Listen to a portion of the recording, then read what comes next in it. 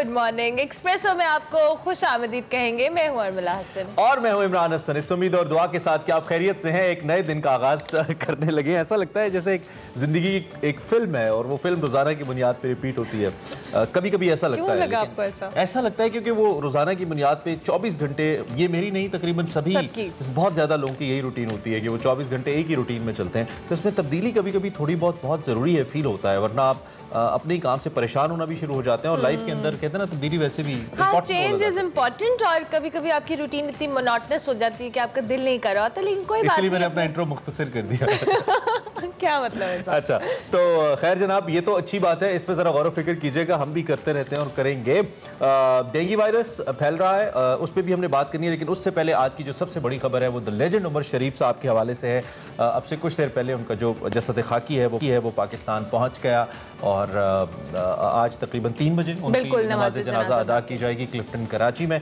और ये कुछ मनाजिर भी हैं जब उनका जसद खाकी यहाँ पे पहुँचा बहुत बड़ी तादाद में जो उनके मद्दा हैं उनके जो लवाहिकीन हैं वो भी वहाँ पे पहुँचे और उन्होंने जसद खाकी आज उनका तीन बजे नमाज़ जनाजा भी अदा किया जाएगा। उसके साथ साथ अब्दुल्ला शाह गाजी के मज़ार के साथ ही मतलब कब्रिस्तान है वहाँ पर उनको दफन भी किया जाएगा। इस हवाले से हम आपको मजीद भी अपडेट देंगे आगे जाके लेकिन अभी चूँकि हम स्टार्ट में बहुत सारी बातें करते हैं और रोज़ाना की बुनियाद पर हम आपको तलकीन करते हैं कोविड से और अब चूँकि डेंगी भी एक एडिशनल फैक्टर है तो आप तो आपने डेंगी से भी एहतियात करनी है। डेंगी के केस में दिन ब दिन इजाफा हो रहा है और उसके लिए सबसे बढ़कर ये कि आप अपने तौर पर एहतियात कर सकते हैं कि अपने घर जो घर है वहाँ पर पानी ना खड़ा होने दें और उस तरह की एहतियात और अगर आपको खुदा न खास्ता कोई सिम्टम नज़र आए तो फ़ौरन डॉक्टर से कंसल्ट करें।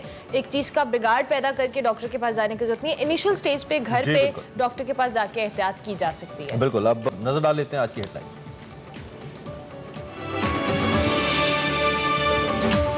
नए चेयरमैन नैब की तकर्री तक जावेद इकबाल चेयरमैन नैब रहेंगे। हुकूमत ने मुद्दत मुलाजमत में तोसी का ऑर्डिनेंस तैयार कर लिया। वज़ीर आज़म और अपोजिशन लीडर की मशावरत भी कानून का हिस्सा होगी। चेयरमैन नैब बदलना है तो पहले ओपोजिशन लीडर बदलो। हुकूमत ने अपनी शर्त ओपोजिशन के सामने रख दी। बलोचिस्तान में सियासी बहरान बात डेड लॉक से डेड लाइन तक पहुँच गई। नाराज़ अरकान का जाम कमाल को शाम पाँच बजे तक इस्तीफा देने का ultimatum segment over a cup of coffee में हिना न्याजी मुलाकात करवाएँगी वज़ीर बराए higher education commission Punjab Raja Yasir Humayun से। क्या आसेब का साया कोई नफ्सियाती मरज है? देखिए सेगमेंट माइंड मैटर्स में। और लेजेंड कॉमेडियन उमर शरीफ का जसद खाकी कराची पहुँच गया। उमर शरीफ को हज़रत अब्दुल्ला शाह गाजी अलैह के मजार से मुत्तसिल कब्रिस्तान में सुपुर्द खाक किया जाएगा।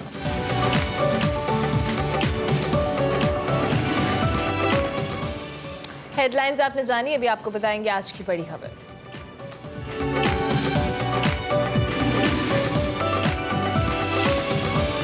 तो बड़ी खबर आपको मालूम है, चेयरमैन नैब की तकर्री के हवाले से है, जिस पर हुकूमत और और ओपोजिशन के दरमियान नया तनाज़ा सामने आ गया है। Chairman NAB justice retired Javed Iqbal की चार साल मुद्दत आठ अक्टूबर को मुकम्मल हो रही है, जिसमें सिर्फ़ दो दिन बाकी हैं। आईनी और कानूनी तौर पर जो नए चेयरमैन नैब हैं, उनकी तकर्री के लिए वज़ीर आज़म और अपोजिशन लीडर के दरमियान मुशावरत ज़रूरी है, लेकिन गवर्नमेंट ने दो टोक अल्फाज में इस इख्तलाफ को पैगाम दे दिया है कि अगर चेयरमैन नैब को बदलना है तो इससे पहले ओपोजिशन लीडर को बदलना पड़ेगा। क्योंकि शहबाज शरीफ साहब नैबजदा हैं। नए चेयरमैन की तकर्री के लिए शहबाज शरीफ से मुशावरत नहीं हो सकती, ये कल फवाद चौधरी साहब ने कहा। इसलिए जब तक नए चेयरमैन नैब के लिए मुशावरत नहीं होती, उस वक्त तक जो जो मौजूदा चेयरमैन है जस्टिस रिटायर्ड जावेद इकबाल साहब, यही बतौर चेयरमैन नैब बकौल हुकूमत के काम करते रहेंगे। इसके साथ साथ वफाकी वज़ीर इतलात फवाद चौधरी साहब ने बताया कि चेयरमैन नैब की मुद्दत मुलाजमत तोसी से मुतलिक कानूनी सुकम दूर करने के लिए ऑर्डिनेंस लाया भी जा रहा है। मुजवजा और जो ऑर्डिनेंस है उसके खदखाल भी सामने आए हैं, जिसके मुताबिक चेयरमैन नैब की जो तकर्री है, उसके लिए वज़ीर आज़म और अपोजिशन लीडर की कानून का जो राय है, वो कानून का हिस्सा रहेगी। अगर मुशावरत ना हो सकी तो मामला पार्लिमानी कमेटी में जाएगा और चेयरमैन नैब के मिसकंडक्ट पर सदर ममलिकत सुप्रीम सुप्रीम जुडिशल काउंसिल में रेफरेंस दायर कर सकेंगे और साथ साथ एडिशनल सेशन और रिटायर्ड जजों को भी नैब की अदालतों में लगाया जा सकेगा। गवर्नमेंट के मुजवजा ऑर्डिनेंस पर अपोजिशन का सख्त रद्द अमल सामने आया है, बगैर मुशावरत के चेयरमैन नैब की तकर्री को गैर आइनी और गैर कानूनी करार करार दिया गया है। बिल्कुल, और ये भी उनका कहना है कि इस हवाले से सख्त मजामत की जाएगी। सुप्रीम कोर्ट जाने का भी ऐलान किया गया है। इसी सारी सूरत पर हम बात करेंगे। हमारे साथ इस वक्त सीनियर कानूनदान सलमान अक्रम रब मौजूद हैं। किसी तारुफ के मोहताज नहीं, उनसे ज़रा पूछते हैं कि वो इस मामले को कितना पेचीदा देखते हैं या कितना सहल देखते हैं देखते हैं। सलमान अक्रम, राजा साहब, बहुत शुक्रिया। अलसुब आपके वक्त के लिए आपने हमें ज्वाइन किया। आपके आपके इल्म है सारा मामला। इस वक्त ये सूरत हाल जिस जानब जा रही है बज़ाहिर तो अपोजिशन ने यह कहा है कि इस मामले में चेयरमैन नैब को तोसी नहीं दी जा सकती और कानून भी यही कहता है। लेकिन अगर पार्लियामानी कमेटी में जाके भी ये मामला सॉर्ट आउट नहीं होता तो वो तोसी ही कंसिडर होगी। तो आप इस सूरत को किस जानब जाता देखते हैं? देखिए आइन में ये गुंजाइश तो ज़रूर है कि ऑर्डिनेंस के ज़रिए कानून साजी की जा सकती है। हम्म। लेकिन ऑर्डिनेंस का मकसद ये है कानून की रूह ये है कि अगर कोई हंगामी सूरत हाल हो पार्लियामान का मिलना मुमकिन ना हो इजलास मुनद करना मुमकिन ना हो हम्म। तो आप एक आर्जी मुद्दत के लिए ऑर्डिनेंस के ज़रिए कानून साजी कर सकते हैं। लेकिन यहाँ सूरत हाल ये है कि पार्लियामान के मिलने में बज़ाहिर कोई अमर बाने नहीं है। और एक इस नौयत की तब्दीली की जा रही है जो बड़ी बुनियादी नौयत की है नैब के कानून के हवाले से। और एक शख्स को तोसी दी जा रही है एक वाद शख्स के हवाले से ये कानून साजी है। इस किस्म की कानून साजी को जो एक शख्स वाहिद के वाहिद के लिए हो हमेशा शक की नज़र से देखा जाता है हम्म। अच्छा नहीं समझा जाता हम्म। और आइन की रूह के मुनाफी समझा जाता है अब ये कहना कि चूँकि लीडर ऑफ़ दी अपोजिशन के खिलाफ मुकदमात हैं या इसलिए उनसे मुशावरत नहीं हो सकती हम्म। तो ये तो कानून बनाने वालों के सामने था कि किसी भी लीडर ऑफ़ दी अपोजिशन के खिलाफ कोई मुकदमा दायर किया जा सकता है और उस सूरत में जो उसका कानूनी एक हक है कानून के मुताबिक कि उससे मुशावरत की जाए वो क्या जायल हो जाएगा तो ये एक पेचीदा मामला है। अगर आपने एक बिल्कुल नई कानून साजी करनी है तो इसको जो कानून साजी का एक मुरवजा तरीका है कमेटी में जाए पार्लियामान में जाए नेशनल असेंबली सेनेट में बहस हो उसके बाद कानून बने। लेकिन तावक्त कि ये हो जो कानून है उस पर अमल होना चाहिए और जो कानून है वो तो यही है कि मुद्दत में तोसी नहीं हो सकती। एक टर्म के, के लिए चेयरमैन नैब तैनात होते हैं हम्म। उसके बाद उनको चले जाना चाहिए। हर अहदे के हवाले से ही ये मैं समझता हूँ एक ठीक रद्द अमल है। सलमान साहब ये तो आपने गवर्नमेंट के पॉइंट ऑफ़ व्यू से बता दिया लेकिन अब हम ऑपोजिशन की तरफ़ लाएँ तो इसमें ऑपोजिशन को इस इस ऑर्डिनेंस को बेसिकली रोकने के लिए ऑपोजिशन के पास कौन कौन सी ऑप्शंस मौजूद हैं और वो किसको यूटिलाइज कर सकते हैं? देखिए एक तो ये है कि अगर किसी भी हाउस में नेशनल असेंबली या सेनेट में सादा अक्सरियत से इस ऑर्डिनेंस के खिलाफ रेजोल्यूशन पास हो जाए हम्म। तो ये ऑर्डिनेंस खत्म हो जाएगा बज़ाहिर सेनेट में अपोजिशन के पास मेजोरिटी है अक्सरियत है अगर वो उस अक्सरियत का इस्तेमाल करते हैं और इस ऑर्डिनेंस के खिलाफ एक रेजोल्यूशन पास करते हैं तो ये खत्म हो जाएगी हम्म। लेकिन हमने माजी में ये देखा कि कुछ मामला में तो अपोजिशन मुतहद रही जैसे ये मामला था सेनेट में इलेक्शन का उसमें यूसुफ रजा गिलानी साहब इलेक्ट हो गए जो हुकूमती उम्मीदवार थे वो इलेक्ट नहीं हो सके हफीज शेख साहब लेकिन उसके चंद ही दिनों बाद जब चेयरमैन नैब का मामला आया चेयरमैन सेनेट का मामला आया तो वहाँ हमने देखा कि अपोजिशन में इंतज़ार था हम्म। अब अगर अपोजिशन मुतहद रहती है तो वो इस ऑर्डिनेंस के खिलाफ रेजोल्यूशन पास कर सकती है अच्छा।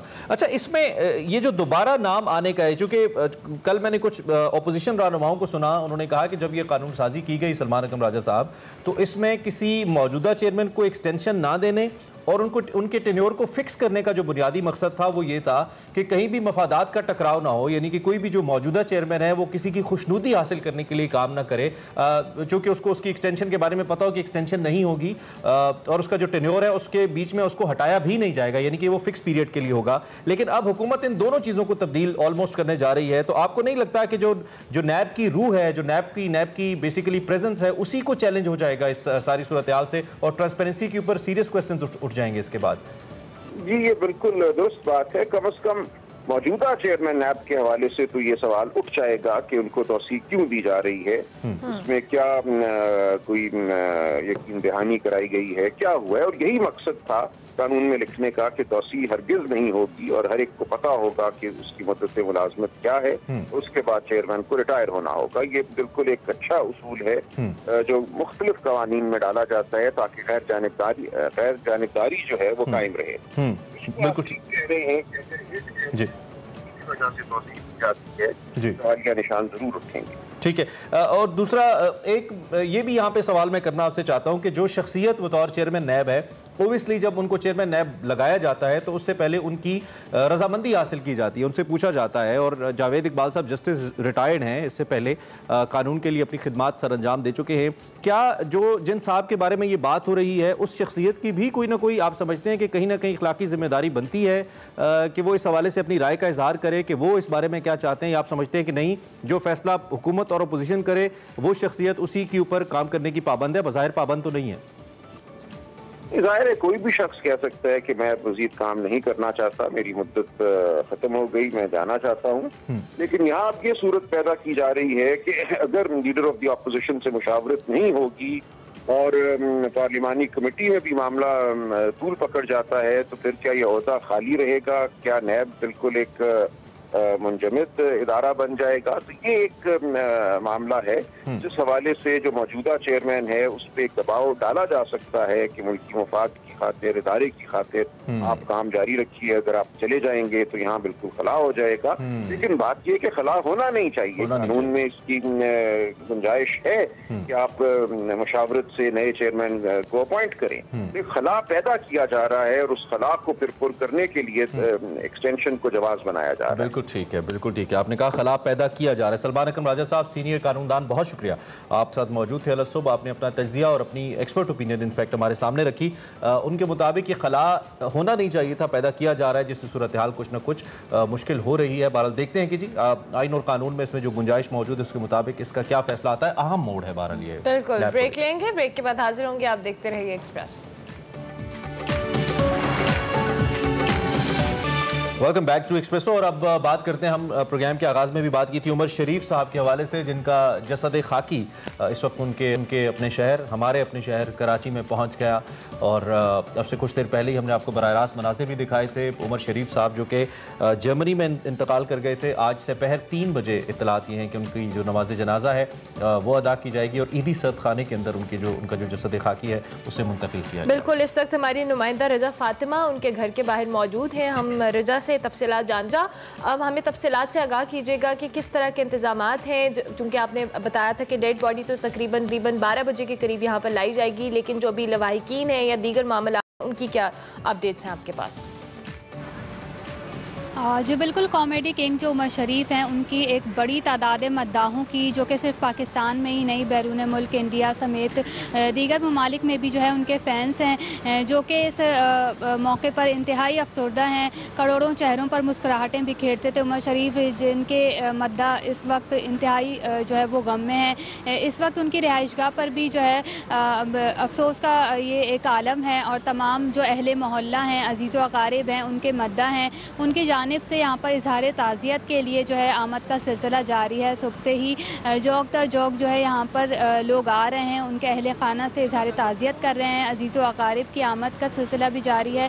ख़वान समेत कुछ मर्द हजरात हैं वो भी यहाँ पर पहुँचे हैं जबकि सिक्योरिटी के पेश नज़र यहाँ पर पुलिस अहलकार भी मौजूद हैं जिनकी जानब से सिक्योरिटी को यकीनी बनाया जा रहा है और बहुत ज़्यादा जो है क्राउड ना यहाँ पर जमा हो जाए। उसकी वजह से जो है हर आ, आ, आम शहरी को जो है यहाँ पर आने की इजाज़त भी नहीं दी जा रही है। जब के मीडिया नुमाइंदगान यहाँ पर मौजूद हैं और कनाते जो है वो यहाँ पर लगा दी गई हैं और बताया जा रहा है अहल खाना की जानब से कि 12 बजे का वक्त है जुज खाकी इस वक्त ईदी सर्द खाने में मौजूद है, जो यहाँ से तकरीबन 15 मिनट के फासले पर है, उसके बाद यहाँ 12 बजे लाया जाएगा और रिहाइशगाह पर आखिरी दिदार की गर्ज से और तमाम जो है जो सियासी और दीगर मशहूर मरूफ शख्सियात हैं शोबिस की फ़नकार हैं, उनकी आमद भी यहाँ पर मुतव है, जबकि जो अहल खाना है वो इस वक्त घर में मौजूद हैं।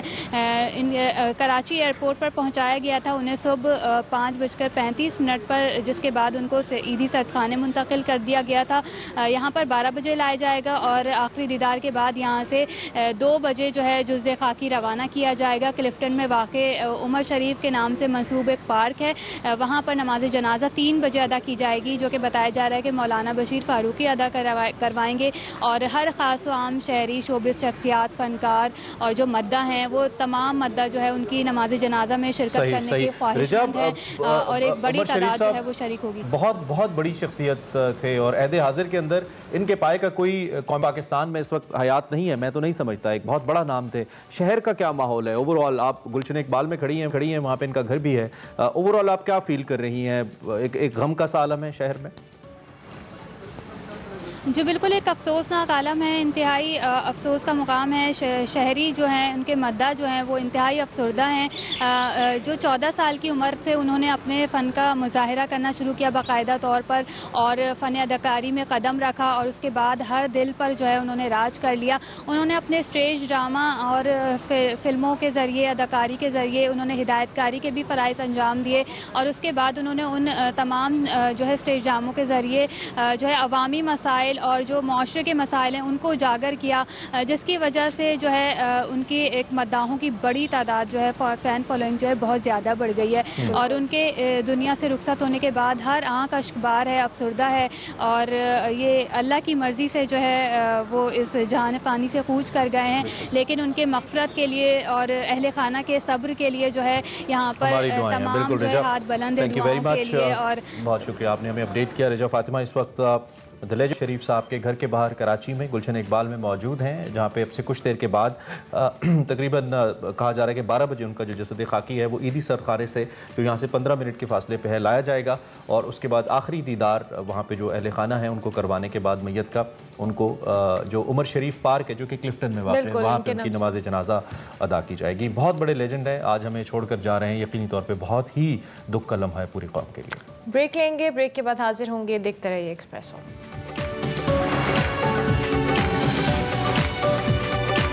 welcome back to Expresso कुछ बात करेंगे बलोचिस्तान की। तो सियासी बहरान शिद्दत अख्तियार कर गया है। नाराज़ अरकान को मनाने की, तम, की तमाम कोशिशें नाकाम हो चुकी हैं। वज़ीर अला जाम कमाल और नाराज़ अरकान के दरमियान मामला डेड लॉक अब डेड लाइन तक पहुँच गए हैं। नाराज़ अरकान ने वज़ीर अला जाम कमाल को इस्तीफा देने के लिए आज शाम तक का अल्टीमेटम दिया और वाजे किया है कि अगर वज़ीर अला बलोचिस्तान ने इस्तीफा ना दिया तो अदम अतमाद समेत तमाम ऑप्शन इस्तेमाल किए जाएँगे। तहम नाराज़ अरकान के धमकी के बावजूद वज़ीर अला जाम कमाल अपने मौकफ पर डटे हुए हैं और वाजे ऐलान किया है कि किसी सूरत अहदे से इस्तीफा नहीं दूँगा। बिल्कुल, और गुजशत दिनों भी हमने इस पर बात भी की थी। नाराज़ अरकान को उन्होंने जवाब दिया कि मैं सनाउल्ला जहरी नहीं, कि आसानी से इस्तीफा देकर चला जाऊँ। बलूचिस्तान असम्बली में इस वक्त पैंसठ अरकान है, इसमें से बी ए पी जो हुकूमती पार्टी है इसके इतिहादियों की तादाद इकतालीस है, जिसमें से नाराज़ अरकान की रिपोर्टेडली तादाद पंद्रह बताई जाती है, जबकि अपोजिशन की तादाद चौबीस है।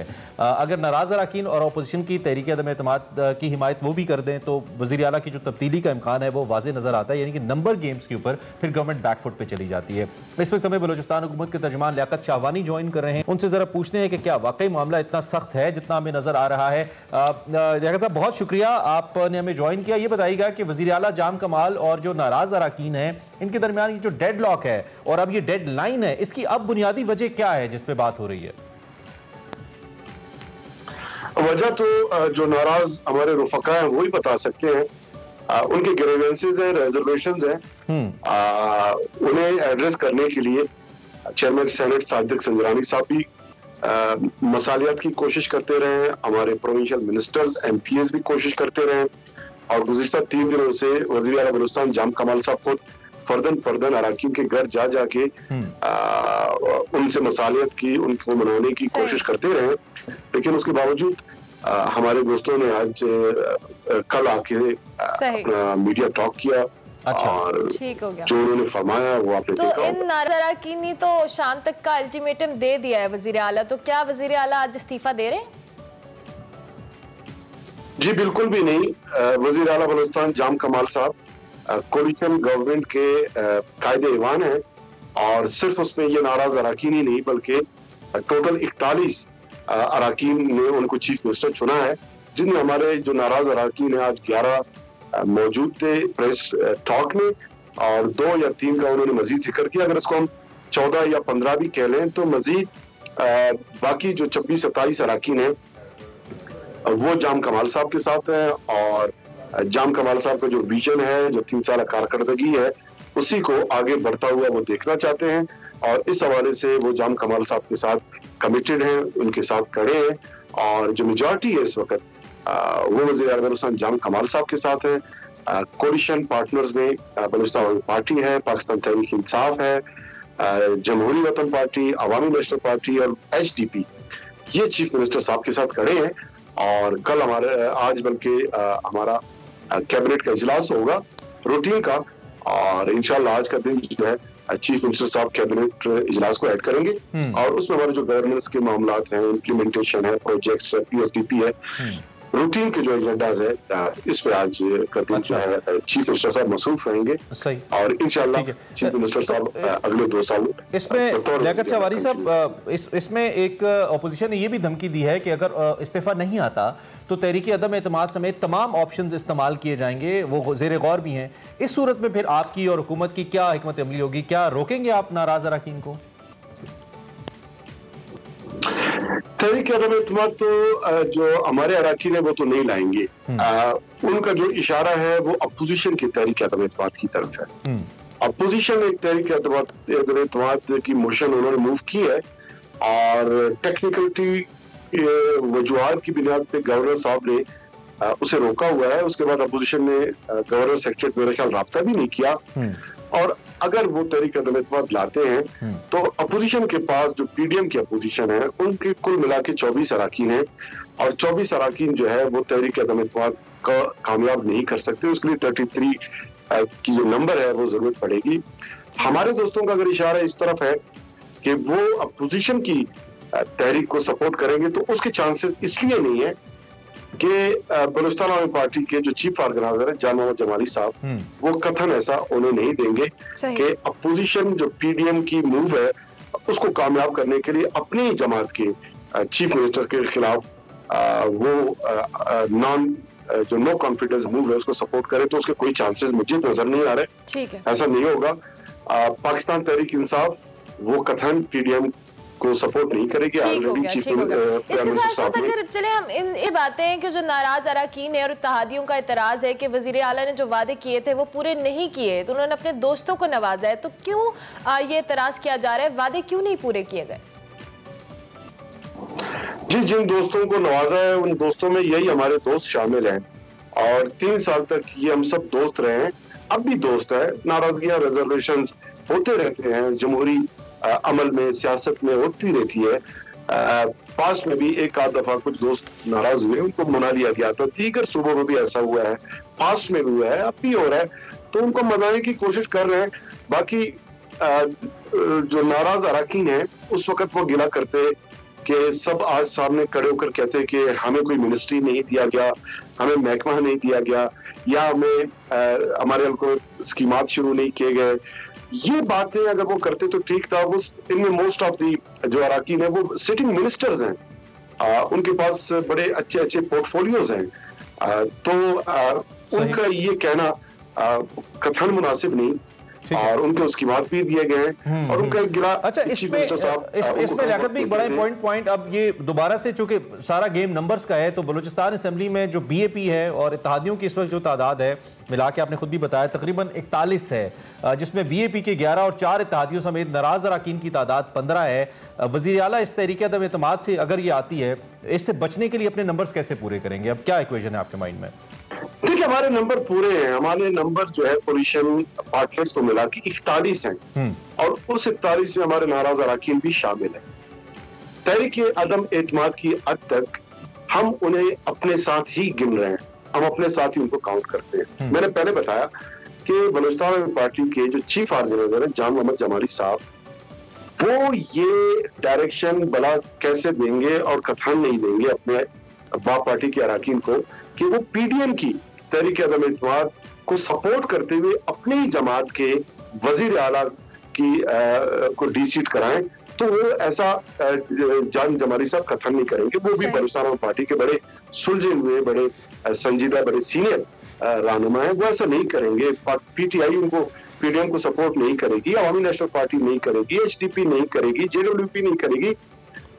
तो वो ये नंबर पूरे कहाँ से होंगे? ये हमारे जो दोस्त हैं जब उन्होंने हाँ, लेकिन यहाँ पे तो पीटीआई के हवाले से ये भी मसला रहा है कि पीटीआई तो खुद उनके अपने नेशनल असेंबली के जो मेम्बरान थे सेनेट इंतबात में वो उनके साथ नहीं रहे तो यहाँ पे ये मसला ये बड़ा मसला मौजूद है लेकिन साथ साथ ये स्टेटमेंट भी दी है वज़ीर अला ने कि मैं सनाउल्ला जहरी नहीं हूँ कि आसानी से इस्तीफा देकर चला जाऊँ। तो ये वज़ीर अला अपना अहदा बचाने के लिए क्या मजम्मत की क्या स्ट्रैटेजी अपनाने वाले हैं?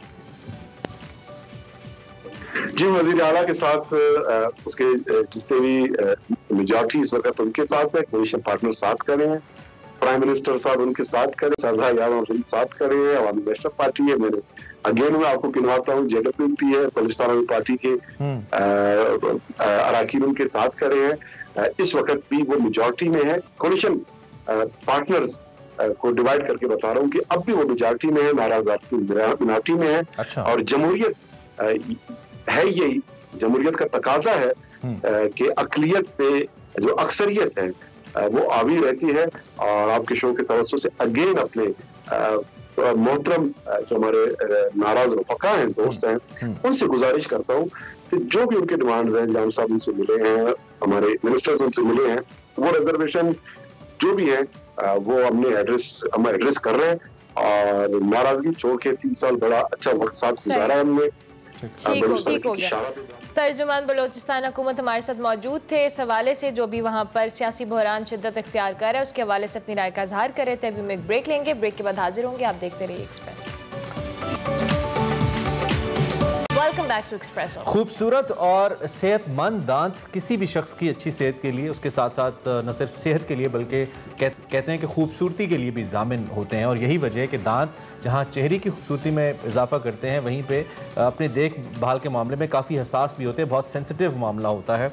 और दांतों की सेहत के साथ आपकी पूरी जो जिस्मानी सेहत है उसके बहुत सारे मामला जुड़े होते हैं। इसकी सफ़ाई में अगर आप अदम दिलचस्पी देंगे तो कहा जाता है कि उम्र भर का रोग बन जाता है और जिन लोगों के दांतों के मसले हैं वो मसले बड़े ही पुराने और बड़े ही शदीद हैं। और वाकई दांतों में कैविटीज़ हों कीड़ा लगना हो एक आम सी एक बीमारी है जिसपे आमतौर पर बच्चे और बूढ़ों को ये मसाइल ज़्यादा होते हैं। आज हम ओरल हेल्थ के हवाले से भी बात करेंगे और इसके साथ साथ हमारे साथ जो हमारे गेस्ट मौजूद हैं वो डेंटल हेल्थ के हवाले से भी बहुत सारा काम कर रहे हैं उस पर भी हम बात करेंगे। हमारे साथ मौजूद हैं डॉक्टर अली हुसैन खान जो कि कंसल्टेंट है डेंटल आखान यूनिवर्सिटी हॉस्पिटल समेत कई इदारों में अपनी खदमात सर अंजाम दे चुके हैं और इसके अलावा उन्होंने एक बुक भी लिखी है salutogenic approach to oral health इनसे हम बात करेंगे कि दांतों की सेहत और सफ़ाई कितनी ज़रूरी है। डॉक्टर अली को हम वेलकम करेंगे। Thank you so much doctor Ali for joining us in Expresso I hope you are doing well हम आज बहुत इंपॉर्टेंट टॉपिक है जिसको आमतौर पर हम नज़रअंदाज कर देते हैं। दांतों की सफ़ाई को और वो एक और इससे पहले डॉक्टर साहब से हम बात करें खुद बताएँगे भी चित्राल के हाँ। अंदर ये कैंप करने जा रहे हैं पहली बार जो कि एक पोर्टेबल डेंटल यूनिट होगा और इनके मुताबिक इस पूरी पट्टी के अंदर डेढ़ लाख की आबादी के लिए कोई डेंटिस्ट मौजूद नहीं है तो ये पहला फ्री कैंप होगा जो ये करने इलाके में ही होने वाला है। तो डॉक्टर अली है इस हवाले से भी हम बात करेंगे लेकिन चूँकि हम आगाज़ में दांतों की हेल्थ के हवाले से डेंटल हेल्थ के हवाले से डिस्कशन का आगाज़ करें तो क्या कहेंगे आप? Thank you for inviting me और जैसे कि हम सब जानते हैं कि ओरल हेल्थ एक गेटवे है हमारी पूरी सेहत का। अगर आपकी मुँह की सेहत अच्छी होगी तो आपके जनरल हेल्थ आपकी ओवरऑल हेल्थ अच्छी होगी हम्म। और हम किसी भी शख्सियत को किसी भी इंसान को सबसे पहले उसके दांत को देखते हैं उसके बाद उसको जानना शुरू करते हैं हम्म। अब आते हैं चित्राल कैंप की तरफ़ ये एक पायलट प्रोजेक्ट है जो कि मैं। आखान हेल्थ सर्विसेज़ की प्लेटफॉर्म से हम लोग लॉन्च कर रहे हैं अपर चित्राल में जो कि 15 टू 25 इस महीने हम लोग इसको लॉन्च करेंगे और जिसमें मैं portable X ray autoclave machine portable unit ये तमाम चीज़ें हम लेके जा रहे हैं। अच्छा अच्छा दैट्स ग्रेट तो सबसे पहले अगर मैं आपसे ये कहूँ कि कौन से ऐसे मसाइल हैं उमूमी तौर पे जो हमारी सोसाइटी में दांतों के हवाले से पाए जाते हैं जो डिजीज़ेज़ हैं या कॉमन प्रॉब्लम्स हैं जिनके साथ लोग आपके पास आते हैं आ, उसके हवाले से अगर हम बात करें तो आप हमें आप हमें क्या बता पाएँगे कि ये ये मसले सबसे ज़्यादा पाए जाते हैं? पाकिस्तान में पाकिस्तान में gingivitis periodontitis dental caries oral cancer ये सबसे ज़्यादा कॉमन है। Okay okay. और अगर इसको आसान अल्फाज में बताएँगे तो हमें और, और एक और तो चीज़ अगर मैं बताऊँ तो जी। देखिए मसूड़ों की बीमारी हम्म। मसूड़ों के साथ साथ मुँह की हड्डी की बीमारी हम्म। ये तमाम चीज़ें कॉमन है। और एक इंपॉर्टेंट चीज़ जो मैं बताना चाहता हूँ कि आजकल हम डेंटिस्ट तमाम डेंटिस्ट डायबिटीज़ के थ्रू मुँह की सेहत के थ्रू डायबिटीज़ को डायग्नोस करते हैं। अच्छा। और इसकी क्या निशानी कमज़ोर हो जाते हैं डायबिटिक डायबिटिक पेशेंट्स के कि फूलना शुरू हो जाते हैं उनमें से खून निकलना शुरू होता है और हम डायबिटीज़ को डायग्नोस करते हैं। सही Okay. सही सही। तो अच्छा अब डॉक्टर अली चूँकि आपने बताया कि बहुत सारी जो बीमारियाँ कॉमन है दांतों से रिलेटेड इनका क्योर या प्रिवेंशन बेसिकली किस तरह से होनी चाहिए? आम रूटीन में हमें कौन सी ऐसी लाइफस्टाइल में चीज़ें ऐड करनी चाहिए कि हमारी जो ओरल हेल्थ है वो अ, उस तरह से मेंटेन रह सके? छः महीने में एक दफ़ा डेंटिस्ट की visit is the key factor जिसके थ्रू आप ओरल ओरल हाइजीन को ठीक रख सकते हैं। और हमारे यहाँ सबसे ज़्यादा लैकिंग इसी चीज़ की है कि हम डेंटिस्ट को छः महीने में एक दफ़ा विज़िट नहीं करते। और यही वजह है कि हम चित्राल विज़िट कर रहे हैं। सर्दियों में चित्राली लोग यहाँ आते हैं अब उनको आने की ज़रूरत नहीं है हम खुद जा रहे हैं वहाँ पर। And I am very thankful to Aga Khan health services जो उन्होंने हमें ये प्लेटफॉर्म प्रोवाइड किया हम्म, नहीं नहीं ये बड़ा अप्रिशिएबल है। और ज़रूर इस पे जो लोग देख रहे हैं उनको हम बता दें मैं आप लोगों को ये बताऊँ कि मैं आपको ये ये बताऊँ कि अपर चित्राल में अपर चित्राल में तकरीबन डेढ़ लाख की आबादी है और वहाँ एक भी डेंटिस्ट नहीं है। That that's so unfortunate and लोग बिल्कुल आप सही पर कह रहे हैं। अच्छा टेक्नीशियंस के पास जाते हैं। हाँ, अल- अली ज़्यादातर लोगों को अपने बच्चों के दांतों के हवाले से बहुत मसाइल होते हैं और कुछ लोग इसको एक उम्र का हिस्सा ही समझ लेते हैं कि अगर बच्चों के दांत खराब हो रहे हैं गिर रहे हैं भुर रहे हैं टूट रहे हैं तो ये शायद उम्र का ही हिस्सा है लेकिन obviously they are the diseases और किसी न किसी चीज़ के किसी एलिमेंट की कमी की वजह से होता है। बीइंग डॉक्टर अगर आप एक्सप्लेन कर पाए इसको। देखें इसमें दो से तीन चीज़ें हैं। Number one is genetics number two nutrition number three कुछ आदत ऐसी होती हैं जैसे कि फ्रीक्वेंसी ऑफ़ शुगर इनटेक जिसकी वजह से बच्चों के दांत गिरना शुरू हो जाते हैं या यानी कि नर्सिंग बॉटल कैरीज और ये तमाम ऐसी कंडीशंस है जिसकी वजह से बच्चों के दांत खराब होना शुरू होते हैं। ठीक है बिल्कुल सही है। और ये जो डायबिटिक पेशेंट्स होते हैं इनके हवाले से भी है कि जिनको शुगर होती है इनके इनके भी दांत खराब हो जाते हैं। मैंने प्रैक्टिकली खुद भी एक्सपीरियंस किया कि ऐसा होता है लोगों की ज़िंदगी में। तो इसके हवाले से कुछ वो लोग जो आपको देख रहे हैं कुछ बता ऐसा होता है कि मरीज़ हमारे पास बहुत ज़्यादा तादाद में ऐसे आते हैं जिनके दांत हिलना शुरू हो जाते हैं मसूड़े फूले हुए होते हैं।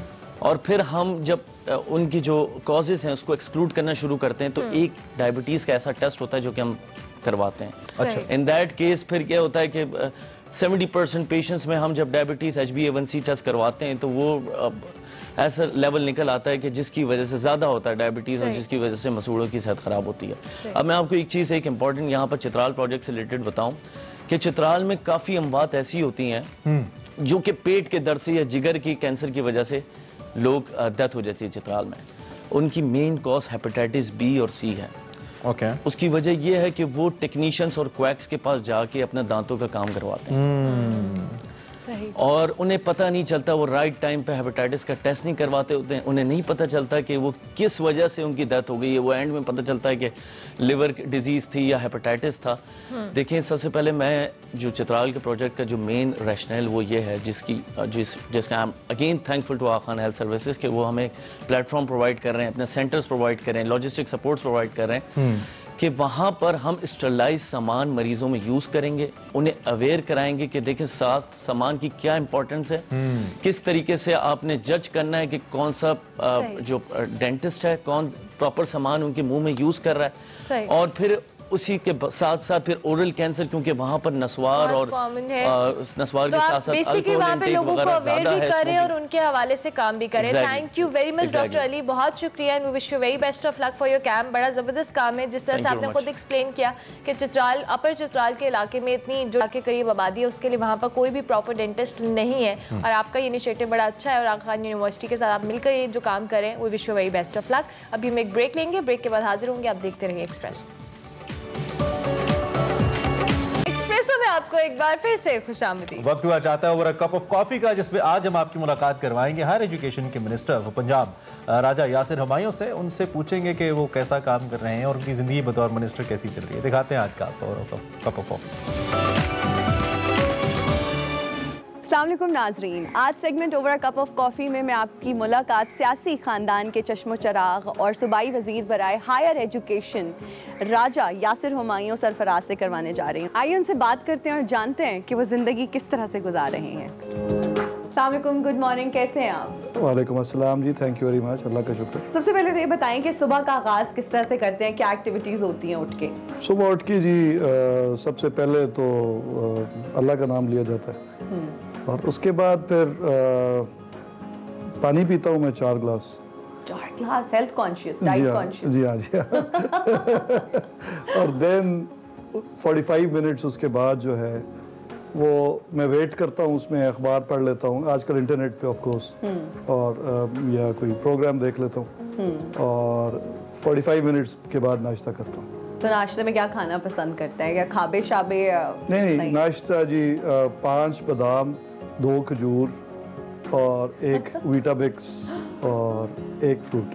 तो बहुत हेल्दी और साफ़ सुथरा खाना। जी एग्जैक्टली अच्छा सर हम ये जानना चाहेंगे कि एक सियासी घराने में पैदा होने वाले बच्चे और एक आम घराने में पैदा होने वाले बच्चे में क्या फ़र्क होता है? कितना फैमिली प्रेशर होता है? प्रेशर तो नहीं होता जी बुनियादी तौर पे जो सियासी घराने हैं उनमें लोगों के साथ इंटरेक्शन ज़्यादा होता है बच्चों का और हर तरह के लोगों के साथ। तो आपने अ, बिल्कुल हाईएस्ट जो सोसाइटी की एलीट है उनके साथ भी मिलना है और बिल्कुल आवाम के अंदर भी घुल मिल के रहना है। तो आपका जो सोशल आईक्यू है जिसको इमोशनल आई क्यू कहते हैं वो नेचुरली बेहतर डेवलप होता है। You tend to meet with all kind of people आप एचएसएन के बाद अमेरिका गए पढ़ने के लिए। क्या अब्बा ने फोर्स किया फैमिली ने इंसिस्ट किया कि जाओ बाहर? या खुद से शौक था? एच में जी हर किस्म के ज़ाहिर स्टूडेंट्स होते हैं एच की खूबसूरती यही है कि आपको पंजाबी से लेके इंग्लिश बोलने तक सब हर तरह के बच्चे भी मौजूद हैं टीचर्स भी मौजूद हैं और किसी किस्म का कोई जो कॉम्प्लेक्स डेवलप नहीं होता। और मैं अकलौता बेटा था तो मैंने डिसाइड किया कि अमेरिका जा रहा हूँ। आपके ज़ाहिर जो एकेडमिक लेवल है और जो अ, जो आपने एसएटी में स्कोर किया है या ओ लेवल में किया उसके मुताबिक ही दाखला मिलता है। हाँ जी। तो मेरा कोई बिल्कुल मैं टॉप पे नहीं था। और अच्छा। लो भी नहीं था दरमियान में था। और मैं ये समझता हूँ कि मेरा आईक्यू ज़्यादा था अंडर अचीवर ज़्यादा था इतना तवज्जो नहीं देता था अच्छा। और होमवर्क नहीं करता था और ऑल दैट तो इतना डिसिप्लिन भी नहीं था ना कोई फोर्स करता था। तो इस वजह से शायद मैं किसी आईवी लीग यूनिवर्सिटी में नहीं गया जो कि मुझे अफसोस वाला रहेगा। अच्छे पब्लिक स्कूल में गया यूनिवर्सिटी ऑफ़ फ्लोरिडा में। आप फैसलाबाद में पैदा हुए। कहा यह जाता है जनरली एक परसेप्शन बन गया है कि जो लोग फैसलाबाद से होते हैं ना उनका सेंस ऑफ़ ह्यूमर बहुत अच्छा होता है। इस बात में कितनी सदाकत है? क्या जुगतबाजी कभी हुई या तंजो मज़ाक से कोई लगाव रखते हैं? एक्चुअली जी वैसे तो लग, रखता हूँ लेकिन फैसलाबाद में मेरी कोई इंटरेक्शन नहीं हुई जो फैसलाबाद के जनरल लोग हैं। उनसे बहुत कम हमारा तल्लक वास्ता रहता था। हम एक फार्म हाउस में रहते थे जो कि शहर से कोई दस किलोमीटर दूर था हमारे फार्म्स पे। मेरी ताई थी जो अंग्रेज़ थी उनसे मैंने बचपन में इंग्लिश उन्होंने उन्होंने पढ़ाई अच्छा। स्कूल आने से पहले। और बाकी मेरी पप्पो थी वो पर्शियन और उर्दू की एक्सपर्ट थी। और तो घर में हम जो है पढ़ाई जो है वो घर में ही शुरू की और मेरी कजन्स थी ताया की बेटियाँ वो भी बड़ी पढ़ी लिखी थी। अच्छा। और उनसे मैं आर्ट और हम एक पूरा एक बड़ा स्कॉलरली माहौल था बड़ा। और रीडिंग पीरियड्स होते थे लाइब्रेरी थी किताबें पढ़नी पढ़ते थे और यू नो उसके वो इतना वो बड़ा सेटअप था कि उसके अंदर ही दुनिया थी। और जो हमारा गाँव था वो बिल्कुल मुल्लिका था। लेकिन हमें साल में एक दो दफ़ा इजाज़त होती थी गाँव में जाने की। आपने अपने एक इंटरव्यू में बताया कि आपने एक पेंटिंग बनवाई अपने एक चकवाल के आर्टिस्ट थे वो डेविड की शायद पेंटिंग थी that was one of the very popular paintings तो क्या आर्ट्स में दिलचस्पी रखते हैं? कितना शौक है? खुद कभी पेंटिंग स्केचिंग कुछ इस तरह किया? जैसे आपको अभी मैंने बताया? मतलब- बचपन से ही जब मेरी ताया की बेटी थी उन्होंने मुझे पेंटिंग सिखाई और ड्राइंग सिखाई पहले फिर पेंटिंग सिखाई।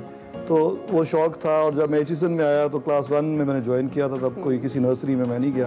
तो क्लास में मेरी बेस्ट थी आर्ट मुझे ये याद है। लेकिन बहरहाल जो आर्ट का शौक है वो फोटोग्राफी की शक्ल में भी फिर मैं अच्छा फोटोग्राफर हूँ। इमरान खान के कितने करीब हैं? क्योंकि इमरान खान की हुकूमत में दो दफ़ा आप मिनिस्टर बन चुके हैं। बेसिकली जी अ, हमारे आइडियल तो वो बचपन से ही थे एज ए क्रिकेटर और पॉलिटिकली हम लोग पीपल्स पार्टी में थे हाँ हमारी फैमिली तो जब खान साहब आए पॉलिटिक्स में तो मेरी तो हमेशा से ख्वाहिश थी कि उनको ज्वाइन किया जाए। लेकिन एक आप कह लें कि एक लॉयल्टी पीपल्स पार्टी के साथ फैमिली की भी थी बड़े अरसे से।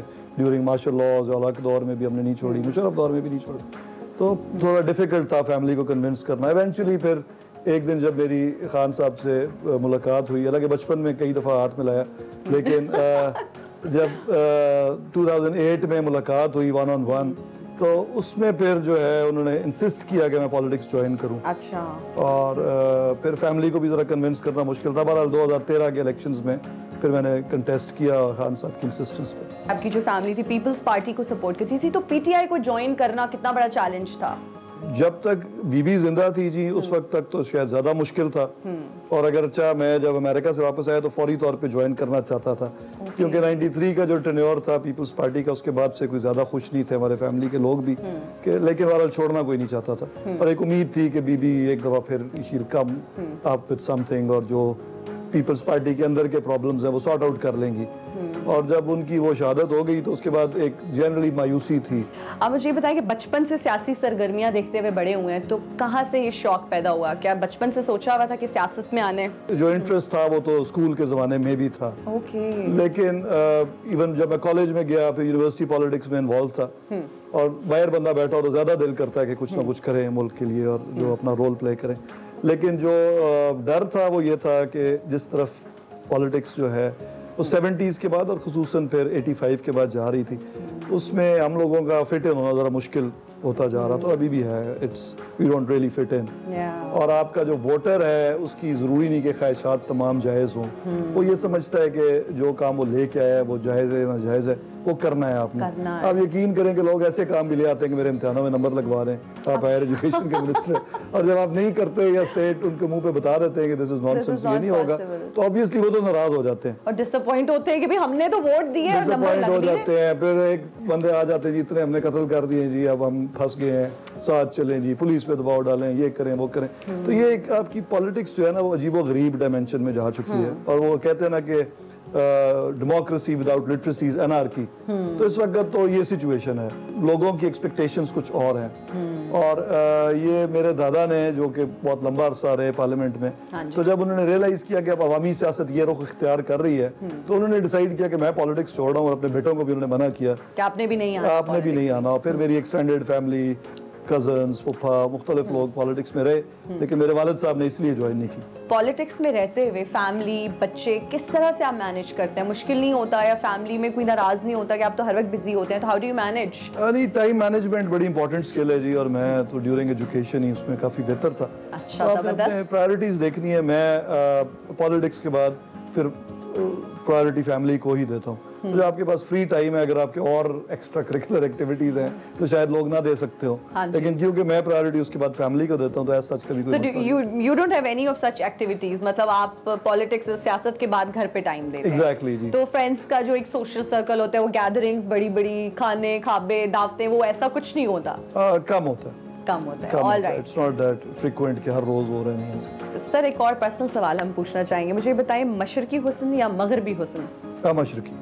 Why is that so taste की बात है जी मुझे तो पर्सनली एक तो जो स्किन टोन है वो मेरा ख्याल है जितनी खूबसूरत इंडियन सब कॉन्टिनेंट में है वो नहीं है कहीं पे और। अ, क्योंकि इट्स नॉट आपको ना अंडर कुक्ड है ना ओवर कुक्ड है।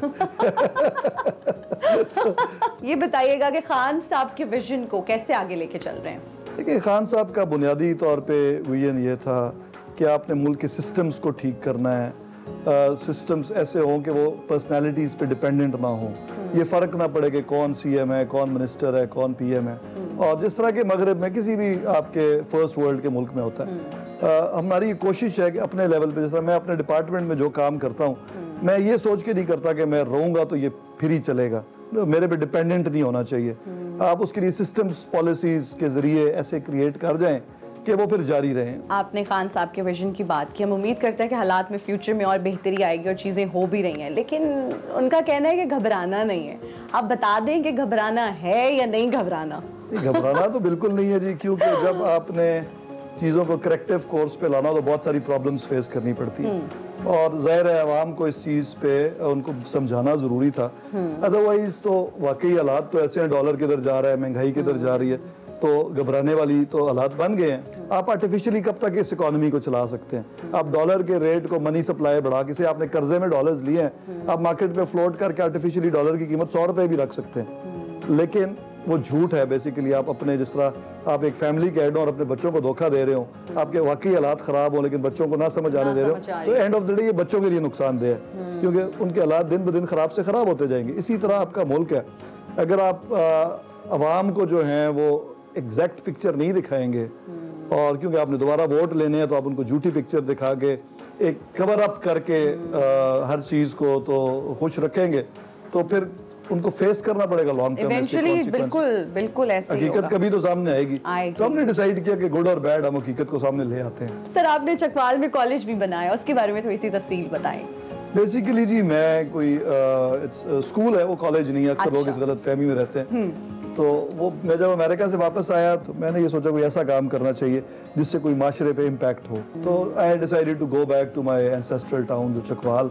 और वहाँ पे जब मैंने स्कूल खोला वो basically aimed at middle class और इवन जो स्कॉलरशिप प्रोग्राम है जो लोग अफोर्ड नहीं कर सकते। ज़्यादातर स्टूडेंट्स वो हैं कुछ ऑफ़ कोर्स जो है मेरे अपने बिरादरी के लोग हैं जो अफोर्ड कर सकते हैं। हाँ तो वो इस तरह प्लान था वो कि लोगों को बड़े शहरों में ना जाना पड़े जो सौ पे दो सौ पे पाँच सौ पे जिन पे मेरा इफ़ेक्ट होता है कम से कम उनकी के लिए कुछ किया जाए।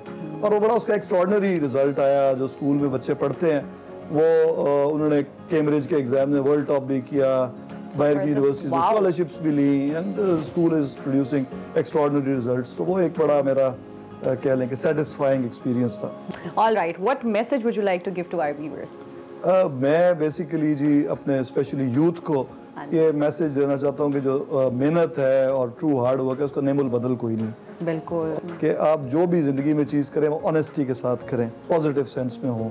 क्योंकि आप अदरवाइज़ पैसे कमाना या कामयाब होना पेरेंटली कोई मुश्किल नहीं है। लेकिन अगर आपका इनर सेल्फ सेटिस्फाइड नहीं है तो उस कामयाबी का कोई मतलब नहीं है। वो कामयाबी है ही नहीं actually very good message thank you so much for your time thank you welcome back to Expresso और आज एक अहम मौजू जिस पे हम बात करने जा रहे हैं, वो बहुत ही कॉमन भी है और बहुत ही तवज्जो तलब भी है, जिन भूत और परी का ज़िक्र तो हम सुनते ही रहते ही रहते हैं। अक्सर कहा जाता है कि खवातीन इसका शिकार हो जाती हैं। ये बज़ाहिर शायद हमें एक एक जोक भी लगता है बहुत सारे मामला में। फनी भी लगता है लेकिन ये बहुत सीरियस मामला है कि आसेब का साया क्या कोई नफसियाती मरज़ है या आसेब के साय का कोई इलाज भी है?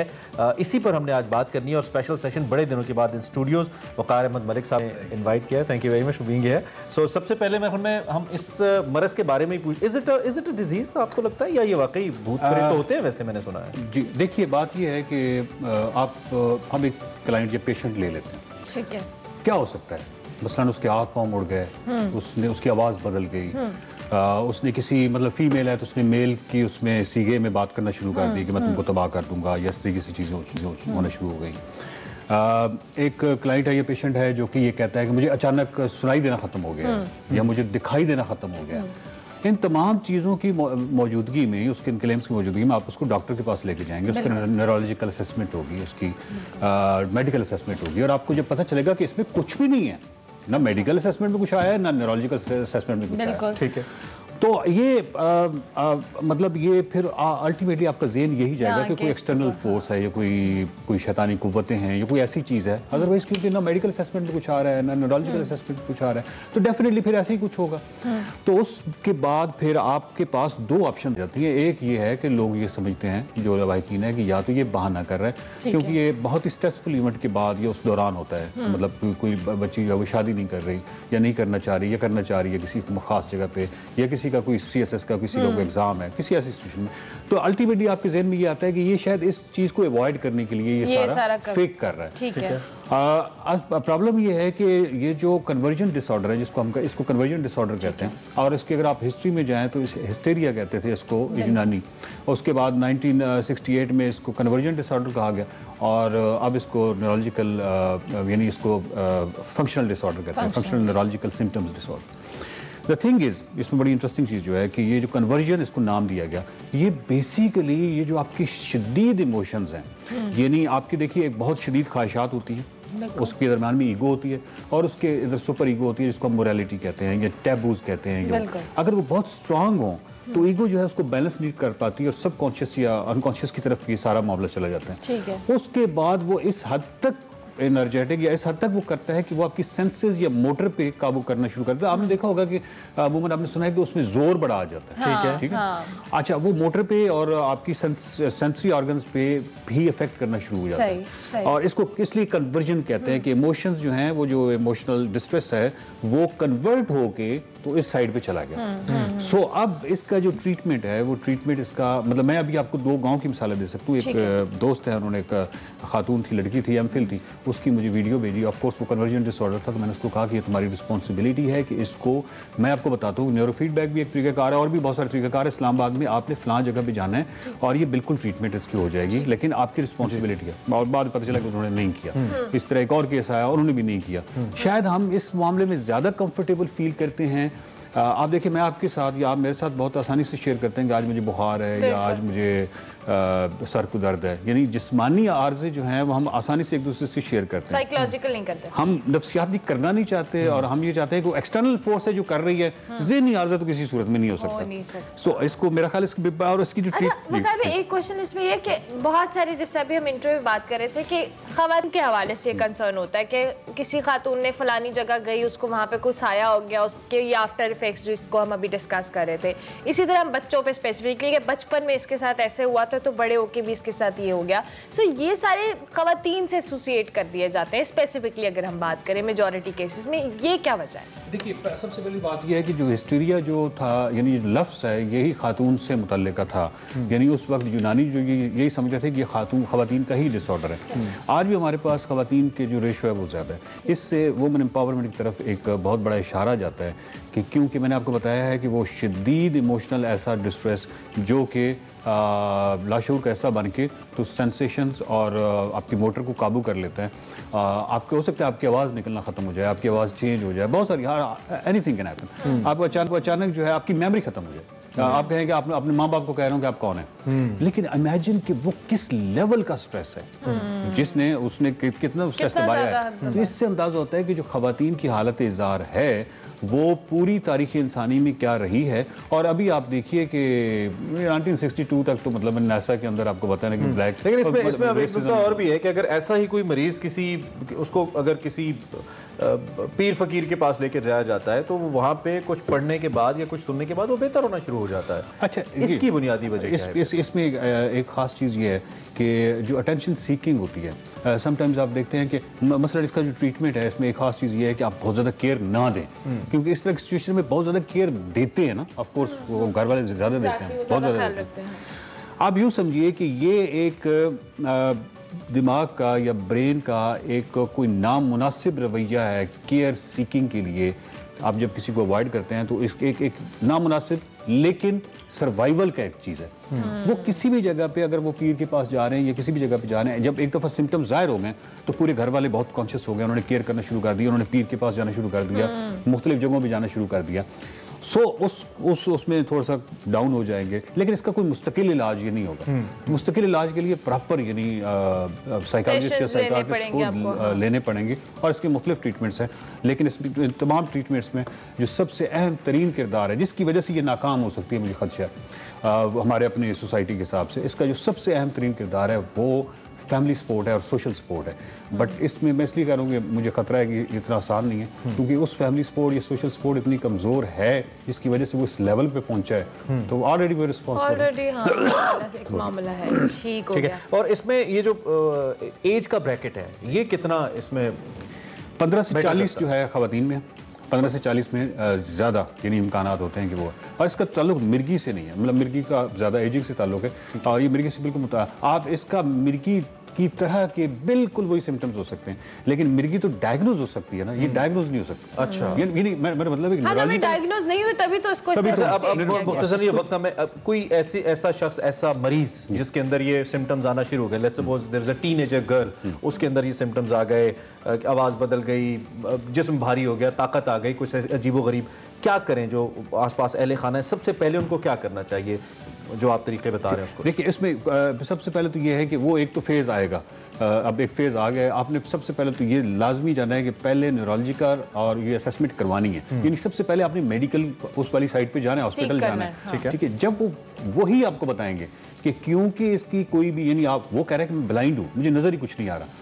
और या मैं मतलब है, मैं- मुझे सुनाई कुछ नहीं दे रहा। और जब असेसमेंट होती है तो पता चलता है कि ऐसा तो कुछ नहीं है। नहीं है। ठीक है इसी तरीके से जब असेसमेंट्स के बाद आपको पता चलता है कि यहाँ कुछ भी नहीं है उसके बाद आप यकीनन और उनको आप वो आपको बता देंगे ये कन्वर्जन डिसऑर्डर फिर आप साइकोलॉजिस्ट ओके और ये नहीं? इलाज है हम मुख्तसर अल्फाज में ये बताएँ कि ये जितनी भी अलामत हमने बताई हैं अगर ये आपके घर में आपके आसपास किसी को भी होती हैं तो बजाय इसके कि आप उसे भूत प्रेत आसाब या साय आसेब या साय का नाम दे के साया हो गया है आप ये एक जहनी बीमारी है। आप इसको कंसल्ट करें तो इसका इलाज मुमकिन है इलाज हो सकता है। सो बड़ा इन्फॉर्मेटिव हमारा सेगमेंट होता है. थैंक यू मच वकार भाई। अभी मैं एक ब्रेक लेंगे। ब्रेक के बाद हाजिर होंगे। आप देखते रहिए express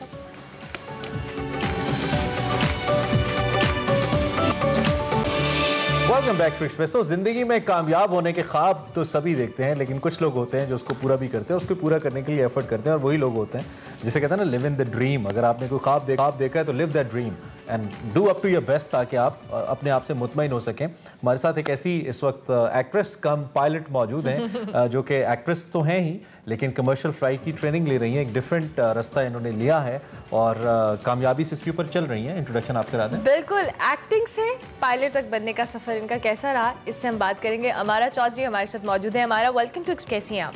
Thank you so much for inviting me मैं बिल्कुल ठीक ठाक आप लोग बताएँ? बिल्कुल ठीक ठाक। हमारा ये बताएँ आपने एक्टिंग किस तरह से शुरू किया फिर हम आपके पायलट बनने के सफ़र की जाने पाएँगे?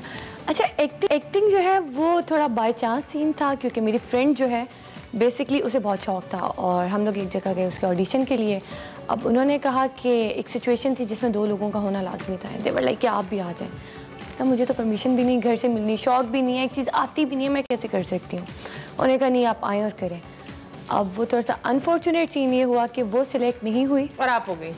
अच्छा ये बहुत से लोगों की दिलचस्प कहानी होती है कि एक्टर बाय चांस बन गए एंकर बाय चांस बन गए। दिलचस्प बात है। लेकिन ये जो पायलट आप जी ट्रेनिंग ले रही हैं ये तो आपने बाय चांस नहीं किया। नहीं, तो नहीं, बड़ी नहीं, नहीं, तवज्जो बड़ा फोकस होके करना होता। बहुत फोकस होकर ऑब्वियसली मैंने सारी उसकी चीज़ें देखी and I was passionate about flying क्योंकि बहुत सारी चीज़ें, वही बात मैं मेंशन करती हूँ कि बहुत सारी चीज़ें होती हैं जो लाइफ में आप जैसे जैसे आगे बढ़ते हैं, आपको समझ आती है। आपको ये एहसास होता है कि यार, ये चीज़ जो है, ये मुझे करनी चाहिए। शायद इसके बगैर मेरी लाइफ इनकम्प्लीट है मतलब कंप्लीट नहीं है। तो फिर वो थोड़ा सा मुझे भी यही फीलिंग आई। मैंने फिर इसके ऊपर काफ़ी 2019 से मैंने इसके ऊपर चीज़ों को देखना शुरू किया। बहुत सारे बाहर के फ्लाइंग स्कूल्स देखे, पाकिस्तान के देखे। फ्लाइंग में किस तरह कर सकती हूँ? आगे मेरा फ्यूचर क्या है? मुझे क्या क्या करना है? मैं इस चीज़ को आगे लेकर चल भी सकती हूँ या नहीं? बिकॉज़ बहुत सारी जगहों पर ये होता है कि आप एक चीज़ को शुरू कर लेते हैं फिर शुरू कर लेते हैं हाँ। बट आप वो कर नहीं पाते तो अभी आप किस स्टेज पे है फ्लाइंग को लेकर? का- कब तक आप हम आपको देख सकते हैं कमर्शियल फ्लाइंग करते हुए? अच्छा अभी मैंने अपना जो लाइसेंस कंप्लीट किया है वो प्राइवेट पायलट लाइसेंस है। और अ, मैंने फ्लाइंग आवर्स कंप्लीट किए अपने सोलोस कंप्लीट किए हैं। फिर अभी एग्ज़ाम्स चूँकि पाकिस्तान में बंद हैं तो अभी इंटरव्यूज़ हो रहे हैं जो कि ओरल एग्ज़ाम है। वो क्लियर किया है देन मैंने अपना पीपीएल चेक क्लियर किया है और फिर कमर्शियल के कुछ आवर्स जो हैं वो कंप्लीट किए हैं। अभी मैं थोड़े से ब्रेक पे हूँ क्योंकि लास्ट वन ईयर से मैं बैक टू बैक फ्लाइंग कर रही थी और चीज़ों में थी। अच्छा। तो अभी मैंने छोटा सा ब्रेक लिया। मैं मुझ समेत बहुत सारे लोग ऐसे हैं जिनको पता नहीं है कि ये कैसे करते हैं। सपोज़ मे भी मुझे भी कहीं या वाले को शौक हो ये करने का। तो उसको पता नहीं होता कि क्या ट्रैक ले जैसे तो आपने कैसे आपको पता था खुद से पढ़ा? देखने देखने वालों को बताइए कि अगर कोई बैठे बैठे ये सोचे कि मुझे कमर्शियल फ्लाइंग करनी है तो वो कैसे करे? कहाँ से स्टार्ट करे? अच्छा इसमें एक चीज़ ये है कि आज मैं अपनी एक यूट्यूब वीडियो भी अपलोड कर रही हूँ जिसमें सारी इन्फॉर्मेशन है बिकॉज़ मुझे बहुत सारे लोग इंस्टाग्राम पे कांटेक्ट कर रहे थे Okay. कि आप बताएँ कि हम कमर्शियल फ्लाइंग में आना चाहते हैं। तो जिस तरह से जो चीज़ें मैं थोड़ी सी डिफ़िकल्टीज थी। मैंने उसमें कम्प्लीटली एक तो एक्सप्लेन किया है और दूसरा वो लोग जो अभी हमें देख रहे हैं उनके लिए होता यह है कि आप पहले कोई भी एक फ्लाइंग स्कूल जो है वो चूज़ करते हैं। Okay. वो आपको एक लेटर इशू करते हैं जिसके बाद आपका मेडिकल होता है। कंप्लीट लाइक काफ़ी लेंथी प्रोसेस होता है। ऑलमोस्ट ट्वेंटी टेस्ट होते हैं जो आपको लाइक उस प्रोसेस से गो थ्रू करना होता है। Once you are done with that और आपका क्लियर हो जाता है फिर आपकी सिक्योरिटी uh, क्लियर आप किसी भी फ्लाइंग स्कूल में जाते हैं uh, आपकी ग्राउंड क्लासेस स्टार्ट होती हैं। मीन वाइल आपकी सिक्योरिटी क्लियरेंस जो है उसके लिए आपके डॉक्यूमेंट्स चले जाते हैं। आईबी स्पेशल ब्रांच और आपका जो नियरेस्ट पुलिस स्टेशन है। हैं। वो आपकी कंप्लीट एक इन्वेस्टिगेशन होती है ये भी काफ़ी लेंथी प्रोसेस होता है। जो जो जो आपने मेंशन किया होता है कि बाय बर्थ आप कहाँ से हैं या आप कहाँ पे रहे हैं वो सारे वो सारी हाँ करते हैं। ठीक हो। Meanwhile, अ, अ, ground ये जो ये जो फाइटर पायलट्स वगैरह होते हैं एयरफोर्स वगैरह के अंदर इनके तो इनकी तो मेडिकली बड़ी रिक्वायरमेंट्स होती हैं जैसे आई साइट वगैरह फिटनेस वगैरह।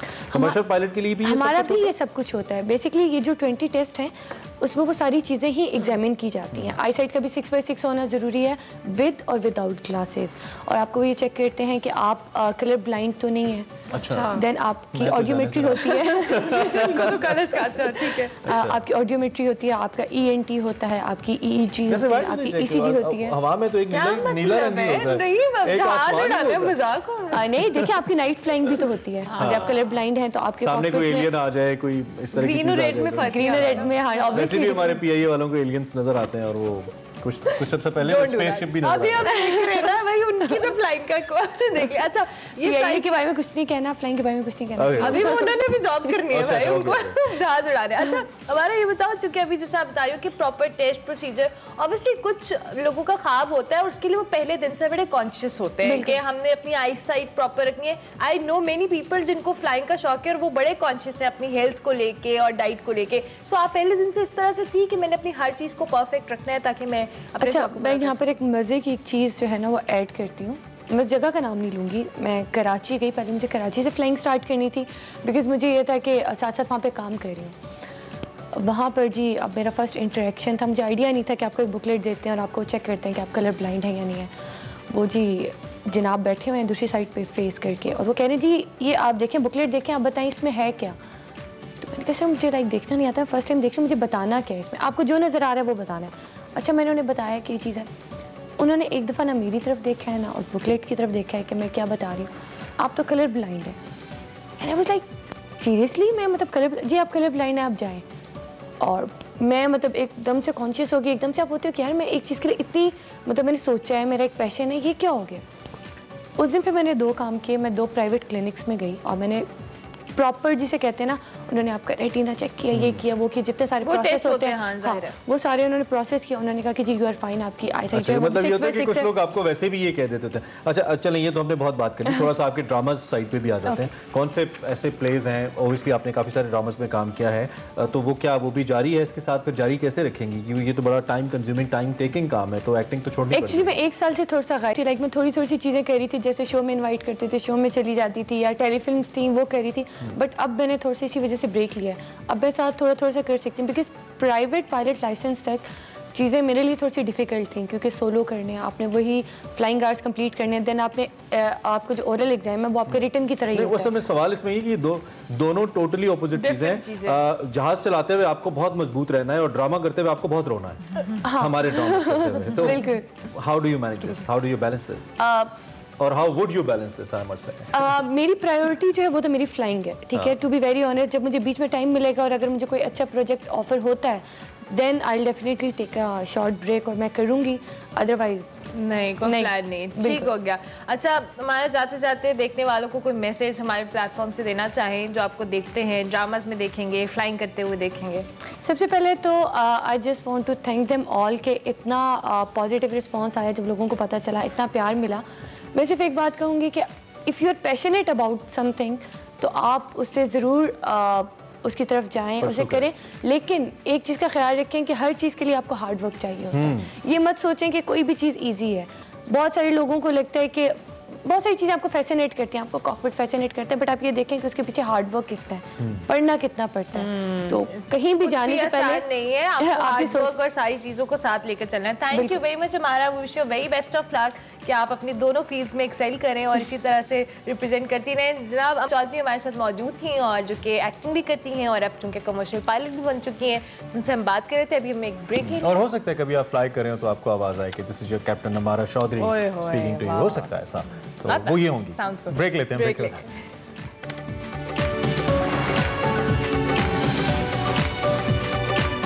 बैक टू एक्सप्रेसो कुछ कह रहे थे मैंने कहा जब ज़िंदगी में खुशी आती है ना तो हमारे सेट में भी अच्छा बहुत खुशी आती है। हमारे साथ खुशी बात आ गई है वो आपको कराएँगे एक्सरसाइज खुशी वेलकम कैसी हैं आप? मैं ठीक ठाक। मुझे भी बहुत खुशी हो रही है है ना? खुशी हमें आपको देख के वैसे खुशी ही खुशी हैं। है। आज आप खुशी में कौन सी एक्सरसाइज कर वैसे एक बात बताऊँ सबसे ज़्यादा खुशी उस वक्त होती है जब आप अपना वेट लूज करते हैं। यस है ना? यस यस आप लोग बहुत फिट लग रहे हैं पहले से थैंक यू थैंक यू ये भी बस लगी रहे खुशी में एक्सरसाइज करा दें इनको ताकि गाइस हम आज करेंगे अपर बॉडी एंड कोर की वर्कआउट डिफरेंट वर्कआउट होंगे you just need a pair of dumbbells हमारे पास यहाँ पे पड़े हैं। And what will do is हमने फ़र्स्ट एक्सरसाइज करनी है inchworm with inchworm with rows go to our dumbbells and row row and as you pull the weight up breathe in and breathe up and crawl back. And then one more time guys. जो beginners हैं उनका भी बता देती हूँ crawl back and when you go to Knee plank position knees पे आ जाएँ and on your toes and go back और कितनी रेपिटेशंस हाँ इसके हम 15 15 रेपिटेशंस करेंगे। लग इजी रही है है नहीं ठीक है? हाँ, इसके फोर सेट्स करेंगे। मैं फोर एक्सरसाइजेस बताऊँगी आपको उसके 15 टू 30 रेप्स होंगे और हर फोर एक्सरसाइज करने के बाद आपने वन टू टू मिनट का रेस्ट लेना है।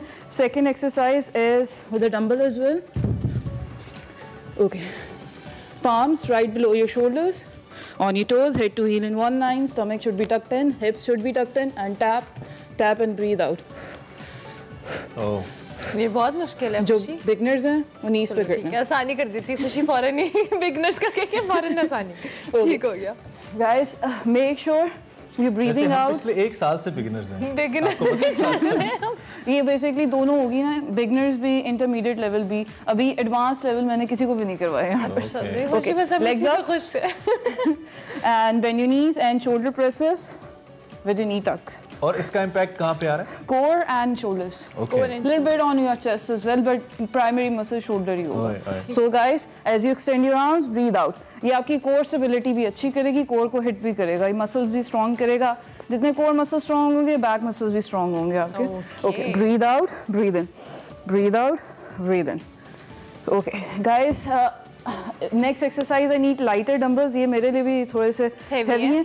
ट्राई करके देख लेती हूँ if I fall guys don't नहीं नहीं खुशी नहीं हम आपका नुकसान नहीं बर्दाश्त कर सकते आप रुक जाए। Okay guys we're gonna go in plank ये वैसे position males वाले and dumbbells हैं, आप विदाउट वेट्स भी कर सकते हैं और light one K G dumbbell switch and these are called T plank और प्लैंक रोटेशंस ओके इसमें अपर बॉडी भी हिट हो रही है कोर भी हिट हो रही है आपकी।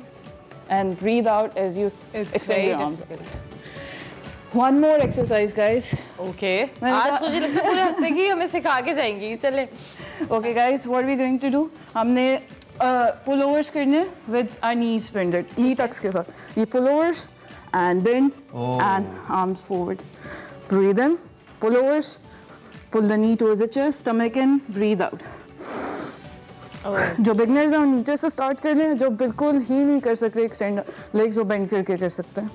ठीक हो गया। Okay so guys I guess five बता दिए मैंने। हाँ बहुत सारी बता दी five- खुशी। गिनी भी नहीं मैंने तो। फाइव एक्सरसाइजेस गाइस जो सिंगल डबल आर्म्स है बेसिकली बोथ साइड्स अब हम थर्टी करेंगे और जो हमने टू एक्सरसाइजेस बताई थी like crawls no no no sorry the one with the rows ठीक है। And the one with the arm reach ये हम 15 15 15 ईच साइड करेंगे। बाकी एक्सरसाइज 15 करेंगे। And after five exercises 30 60 second rest four to five rounds and core और upper body आपकी proper hit होगी इसमें। ठीक हो। so guys try this at home. Thank you Khushi. बहुत शुक्रिया। सुबह सुबह इतनी ज़्यादा और इतनी अच्छी एक्सरसाइज बताने के लिए। करेंगे आप? हाँ नहीं वो पहले मैं कहने लगा था कि पहले हमने भूत भगाए फिर हमने जहाज़ उड़ाए अब हमने एक्सरसाइज की। अब हम जा रहे हैं। अब हमारा जाना बनता है अब हम क्योंकि जा अब रहे हैं। कुछ और भी हो सकता है। हाँ, अब हम आपसे इजाज़त sign out thank you very much for watching feedback दीजिएगा ज़रूर अगर मूड और कल. इंशाल्लाह मिलेंगे आपसे।